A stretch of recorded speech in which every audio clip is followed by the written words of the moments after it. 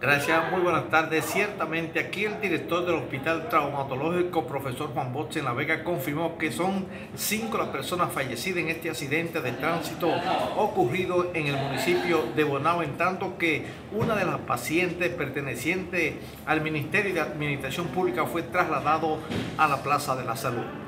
Con relación a esto, tanto el médico legista como un testigo nos hablan sobre la situación que se vivió en este sector donde ocurrió en Sonador Bonao este fatal accidente de tránsito. No tiene sangrado mayor, nosotros esperamos que afortunadamente para ella, ella pueda recuperarse y salvar su vida. Fue que esa guagua que está ahí perdió el control, parece parecer que se durmió en la curva ahí. Y cuando perdió el control, entonces espantó la otra guagua que venía de Santo Domingo.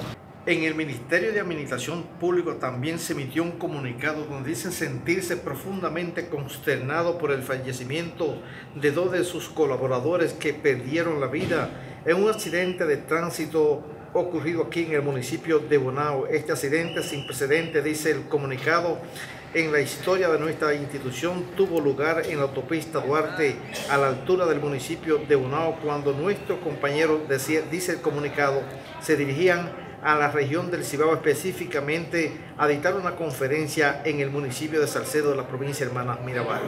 Los cuerpos sin vida de las personas fallecidas fueron trasladados a sus respectivas comunidades donde según el director del hospital traumatológico profesor Juan Bosch, ninguno de ellos fueron trasladados a este centro de salud.